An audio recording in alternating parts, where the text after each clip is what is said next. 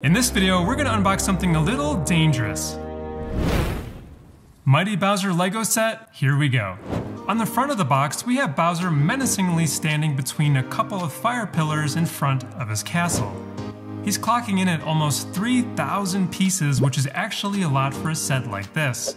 On the flip side, it looks like we have Bowser striking a different pose, barking orders at Koopa Troopas, shooting a fireball at plumbers, and waving at the camera. And of course, we have our LEGO set dimensions. This looks like it'll be a pretty huge set, so be sure to make room on your shelf.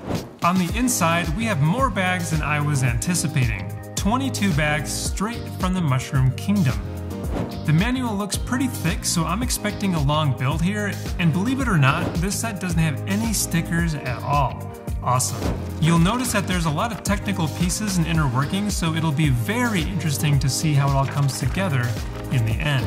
The manual goes through a lot of cool background information for Bowser, along with a neat timeline for when LEGO Bowser was introduced. He's only been around for a couple of years, but be sure to expect more of him, as Nintendo and LEGO go very well together.